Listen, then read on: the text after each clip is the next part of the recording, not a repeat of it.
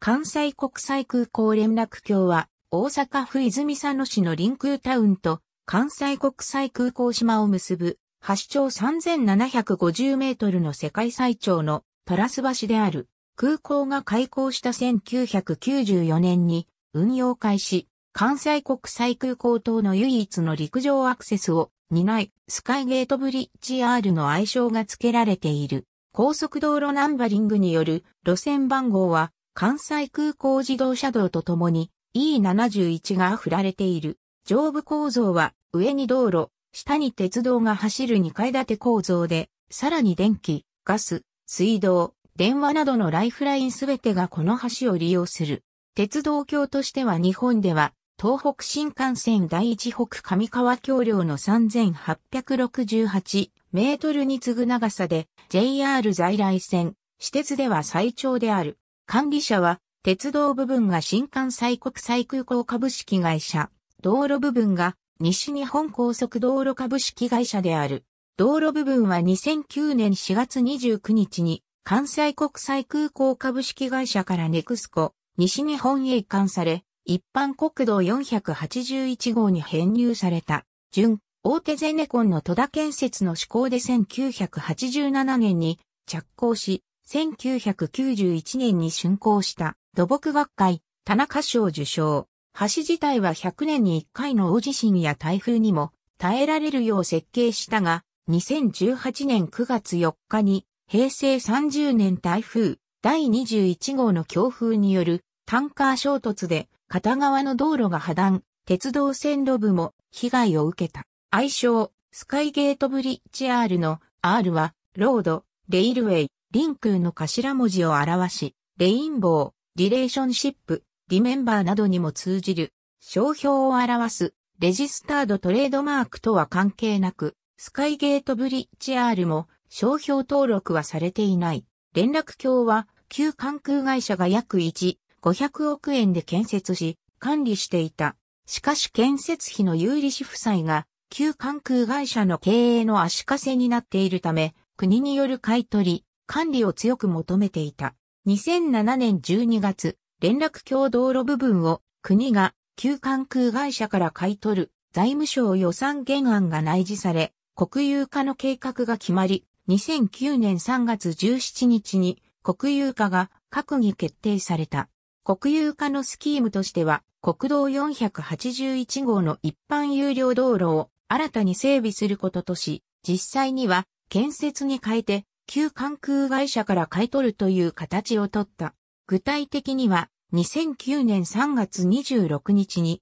連絡橋道路部分に相当する区間が国道481号の指定区間とされ、2009年4月16日に日本高速道路保有債務返済機構とネクスコ西日本との協定が変更されたことで、一般有料道路、関西国際空港連絡橋の整備が確定した。ついで、2009年4月29日に、連絡橋道路部分を国土交通省とネクスコ西日本が約700億円で買い取り、一般有料道路、関西国際空港連絡橋が開通することになった。2009年4月29日午前0時、道路部分の管理は、ネクスコ西日本に引き継がれ、国道481号に編入された。同時に、自動車通行料金も、車種ごとに半額程度に値下げされた。ネクスコ西日本が管理する他の有料道路と同様、保有しているのは高速道路機構である。これにより、道路上の案内標識は、自動車専用道路仕様となり、インターチェンジ番号も振られた。直結している関西空港自動車道からの続き番号が振られ、リンク、インターチェンジが4、関西国際空港 IC が5となる。この売却には、鉄道部分は含まれず、引き続き、関空会社が所有し、鉄道会社が使用する。2012年7月1日に、空港の運営とともに、鉄道部分も、旧関空会社から新関空会社に移管された。この国有化により年間約8億円の固定資産税を得られなくなる。泉さんの市は通行車両から往復150円の通行税を徴収する条例案を2008年8月の市議会で可決していた。しかし、2009年2月に国土交通省より減収分を補填できる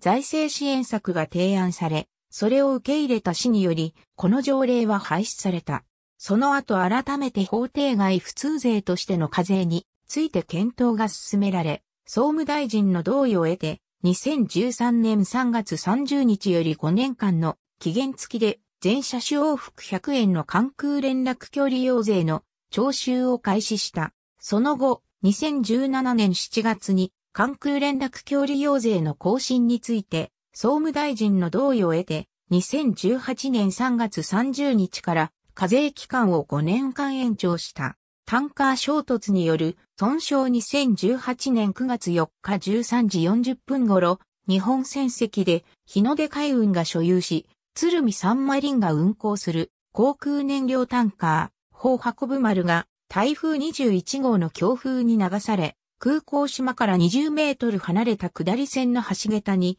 衝突し、橋梁が大きく損傷して、中央の鉄道線路までずれ、連絡橋が使用不能となった。砲運ぶ丸の乗組員は、海上保安庁のヘリコプターで2名、運航会社の手配した船で9名救出され、全員無事であった。同月5日、タグボート2隻と警戒船2隻により、砲運ぶ丸の英出作業を実施した。同月7日、被害の少なかった上り線を利用して、下り線損傷部前から空港料金所付近まで対面通行が可能となり、これにより営業用乗り合い、貸切バス、タクシーハイヤーが通行可能となった。同月12日から14日にかけて損傷した橋桁の撤去を行った。同月18日には鉄道が運転を再開。これにより、臨時シャトルバスの運行を終了。さらに、同月21日からは、事業用ナンバーのタクシーハイヤーが通行可能となり、翌10月6日には、自家用ナンバーの自家用車、レンタカーも通行可能となった。2019年2月12日から14日にかけて、修復した橋桁の仮設を行った。翌3月7日に4車線で復旧し、同年4月8日午前6時に6車線で完全復旧した。当連絡橋の上段が6車線の自動車専用道路になっている。リンクインターチェンジ JCT で関西空港自動車道と直結しており、インターチェンジ番号も連続している。また、会場であることから釣りなどを行うのを防止するため、路肩駐車禁止の表示がある。道路構造例での規格は、第1種第3級に分類され、設計速度は時速 80km となっている。旧関空会社管理の道路だったが、2009年4月29日に国土交通省と西日本高速道路株式会社が購入し、国道481号に編入された。両端にはポール照明が、中央部には高欄照明がそれぞれ採用されている。これは航空法によって高さが制限されていることに加え、パイロットや船舶に対して有害な光を与えないためである。通行料金は本州から来て空港島に入ったところにある料金所で往復分と利用税をまとめて支払う。2019年10月1日に消費税が10%に増税されたことに伴い、10円刻みの値上げが行われた。別途、泉佐野市の関空連絡距離用税が全車種100円が徴収される。2014年4月から2019年9月までの料金2014年4月1日に消費税が8%に増税されたことに伴い、10円刻みの値上げが行われた。加えて、関空連絡距離用税が2018年に5年間延長されたことに伴い、引き続き全車種100円が別途徴収される。2009年4月から2014年3月までの料金2009年4月29日から道路の国有化、管理者の変更に伴い値下げが行われた。辞表は値下げ後の通行1回あたり往復分、通行料金である。夏季通行料金に加え2013年3月30日より5年間、夏季通行料金に加え、泉佐野市の関空連絡距離用税として全車種100円が徴収される。2009年4月までの通行料金辞表は2009年4月28日までの往復分の料金である。土曜日、日曜日祝日の軽自動車等と普通車は括弧内の機体。回数券は2008年9月20日をもって発売が中止され、料金が変更される2009年4月29日以降は使用できなくなった。未使用分については同日以降、関空第一駐車場管理事務所にて払い戻しを行う。ETC、編集 ETC は2007年3月1日から利用可能となっている。ネクスコ西日本への移管に伴い、企画割引、移管特別割引として深夜割引と通勤割引が導入された。当初2009年8月31日までの期間限定とされていたが、延長を重ね、2011年3月31日まで実施された。2011年4月1日からは正式な深夜割引、通勤割引になったが、深夜割引の割引率は30%のままであった。2011年8月1日から他の地方部の高速道路と同じ割引内容になる。また、移管により ETC マイレージサービスでポイントがつくようになり、ポイント還元額の利用も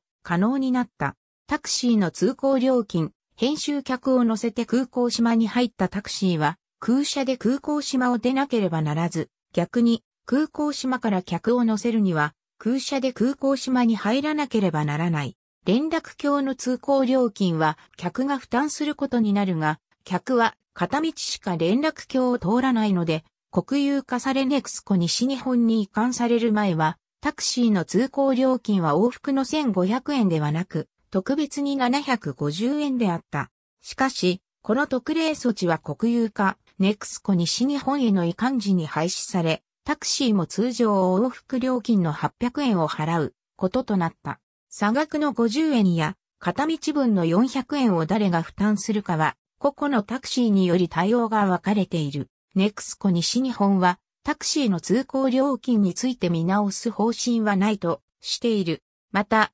ETC 時間帯割引の適用は、空港島へ入ったところにある料金所を通過した時刻で判断されるため、空車で割引対象外の時間に空港島へ入り、割引対象時間帯に客を乗せて出る場合、客としては割引料金のつもりだが、実際にはタクシーは割引されていない料金を払わなくてはならない。24時間交通量道路交通センサスより一部データを抜粋して作成 JR 関西空港線と南海空港線が連絡橋下段の伏線を共用している。連絡橋の空港側付近では一部区間で、当連絡橋道路部と並走する区間がある。JR 関西空港線南海空港線、ありがとうございます。